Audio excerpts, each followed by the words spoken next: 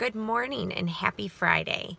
I am here this morning to bring you the third round of PRN trivia.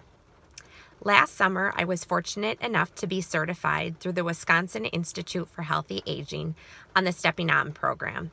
Stepping On is an evidence based fall preventions program that was founded in Australia. Today's question is Who are the two founders of the Stepping On program? The first three people to email me with the correct answer will be sent a prize. Also, make sure to tune in next week. I will be interviewing my students who are back for another semester of homeschooling. I've heard the third one is a real treat. Have a great Friday.